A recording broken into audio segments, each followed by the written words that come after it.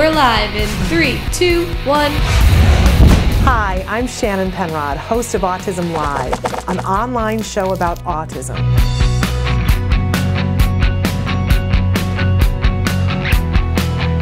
We like to start every morning with the jargon of the day. Let's take a look at what NET stands for. We always have a question of the day, and we love your participation on Twitter. You can call in, you can Skype in the A Word. This is a remarkable documentary following a little boy who was diagnosed with autism. Just pinch and fold it back over and voila. Okay, we can put the cauliflower right in the middle of it and you can see how easy this is. Wherever you are in the world, be here with us in live time.